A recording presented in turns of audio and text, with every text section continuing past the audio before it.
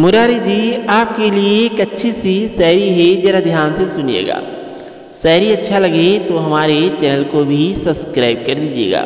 तो चलिए मुरारी जी, शायरी स्टार्ट करते हैं। मुरारी जी, आँखों की गहराई को समझ नहीं सकते हैं, होठों से कुछ कह नहीं सकते हैं। कैसे बयां करें हम आपको इस दिल की हाल को? कैसे बयां करें हम आपको इस दिल के हाल को? आप ही हो जिसके बगैर हम रह नहीं सकते हैं। हाँ जी।